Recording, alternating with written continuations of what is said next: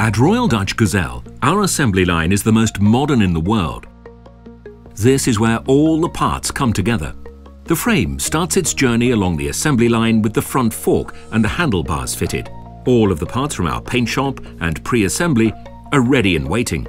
Step by step, with precision and attention to detail, around 25 assembly line staff fit and check each component. The mudguard, the wheels, the battery, to create a perfect gazelle.